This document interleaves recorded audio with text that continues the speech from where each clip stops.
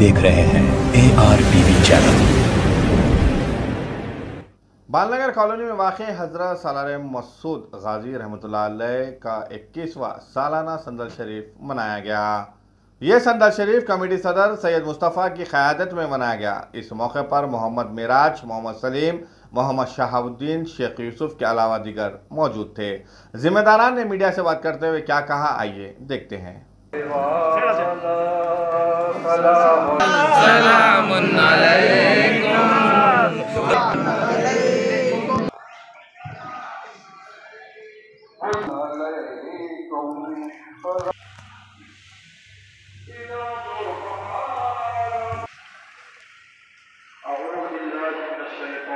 السلام علیکم۔ ورحمة أهل القبول الصلاة والسلام عليكم ورحمة الله وبركاته. وعلى الكريم إن الله وملائكته يصلون على النبي يا أيها الذين آمنوا صلوا عليه وسلموا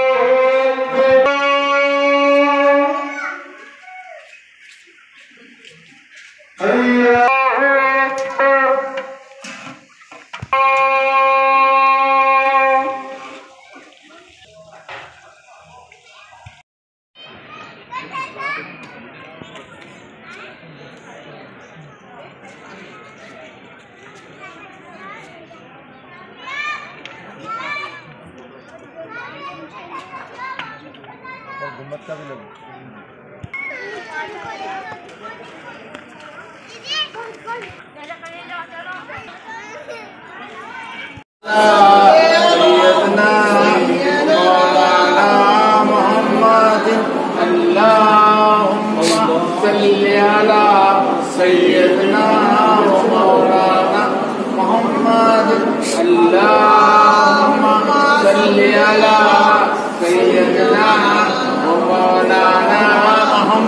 محمد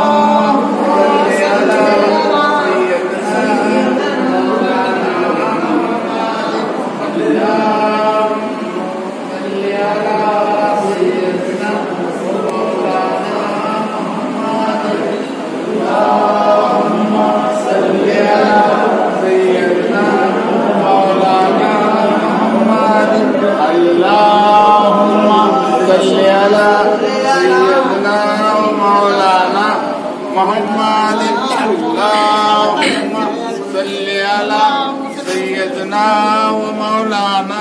محمد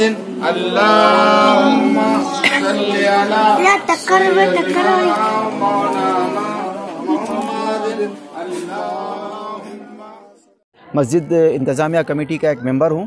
آپ لوگ، آپ سبھی لوگوں کو یہ بتانا چاہتا ہوں کہ ہماری کمپنی کے مسلم ویلفیئر ایسوسیشن کی طرف سے مسجد کی انتظامیہ اور ویلفیئر کا کام دیکھا جاتا ہے اور ہم لوگوں نے بہت بہترین طریقے سے مسجد کا کنسٹرکشن اور درگاہ کی دیکھ ریکھ کی ہے اور ہر سال ماشاء اللہ صابان معظم کے مہینے میں پچیس تاریخ کو لگ بھگ ہم لوگ درگاہ عرس، سالار مسعود غازی رحمۃ اللہ علیہ کا عرس مبارک پاک مناتے ہیں۔